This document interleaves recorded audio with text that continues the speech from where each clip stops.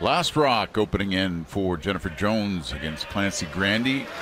Tap the yellow away. Count three. Whoa, whoa. Easy. Whoa. Yes, yes. Hard. Hard. This one's starting to move a little bit. A little less Oh. weight, a softer release. Can they hold it? This is really going. Got to buy the front. Will it stay for a count of three? It, It does. Wow. Great sweeping.